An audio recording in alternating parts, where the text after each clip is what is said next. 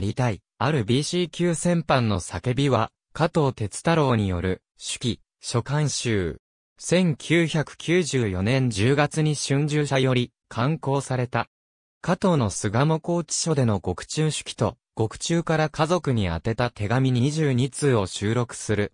2005年8月に、新装版が、2018年6月に普及版が、刊行された。真実の式 BC 級戦犯、加藤哲太郎私は会になりたいと題して2007年にテレビドラマ化された。真実の式 BC 級戦犯、加藤哲太郎、私は会になりたいと題してテレビドラマ化され、終戦記念特別ドラマとして2007年8月24日の21時から23時24分に日本テレビ系列で放送された単発スペシャルのテレビドラマ。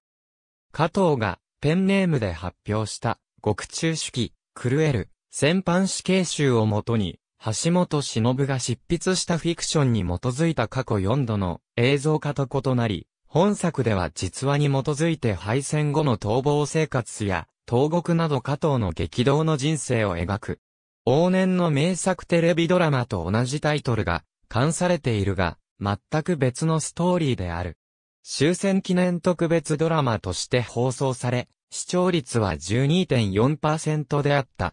文化庁芸術祭参加作品として、日本テレビで2007年11月17日の早朝2時40分5時に再放送された。1958年に、ラジオ、東京テレビで放映された、テレビドラマ、私は会になりたいはフィクションであった。